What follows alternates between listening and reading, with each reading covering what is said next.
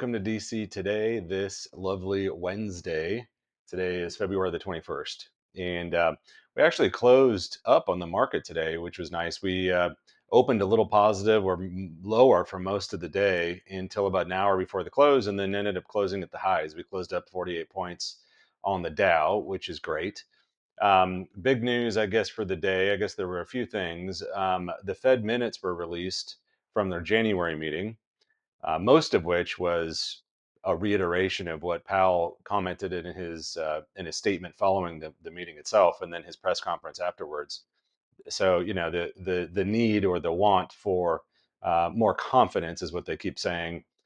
to with inflation being at two percent sustainably, before they can lower interest rates um, was pretty much across the board. There was definitely more constituents inside of the minutes that were worried about inflation over over restrictive policy causing a slowdown. Um, so you can read into that two ways. I actually look at that as um, I suppose glasses half full because um, you know the, it, it, them being uh, not concerned or less concerned about the strength of the economy, given all the strength that there is in the economy, is not a bad thing. That's a good thing. And I get that they don't want to have to stop and go like the 70s. I don't get why people compare this era to that era because they're completely, totally not even close to the same at all. The causes of inflation and the economy and all those sorts of things. But at the end of the day, uh, if that's what they're they're concerned about, that's fine. And what we said is basically whether it is you know May or June, you know when they start re- lowering interest rates, or whether it's three times or four times or five, you know, I mean, those things matter and they sort of don't. I mean, at the end of the day, what matters is that the economy is hanging in. Earnings have come coming out pretty good, uh, quite good actually, and inflation is moving substantially lower. Uh, we have disinflation right now, and, and, whether that's in a straight line, like I said, is, is you know won't happen. But those are all the good things, and the fact that we've hit peak rates in this business cycle. So the, this rate tightening cycle has ended whether they lower at three or four, I don't think really matters personally. So markets will move up and down a little bit on it, but I wouldn't read into that um, overly in it. There was um, so Fed minutes out today were probably the largest thing. Uh, rates moved up a little bit based on that. They were up uh, five basis points on the 10 year. We closed at 433. So um, top performing sector on the day was energy. It was up almost 2%.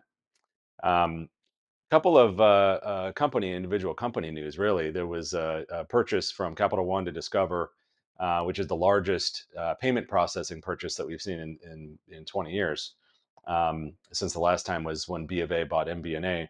Um, I just mentioned it because the the deal announced was a 26 premium to current share price, and it's really only trading up 10. So I don't know that the market believes that it'll get through any antitrust hurdles, uh, but meaningful news nonetheless.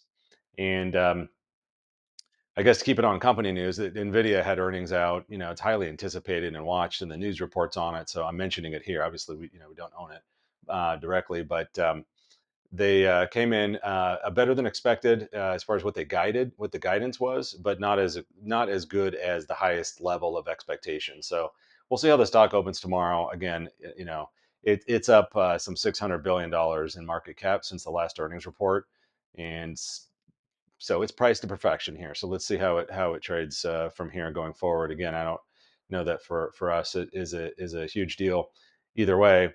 Um, but that aside, um, you know, I I think for the day it was fairly uh, fairly benign. The volatility index was up a little bit, but not a lot. Um, so we're just sort of getting through again more Fed banter.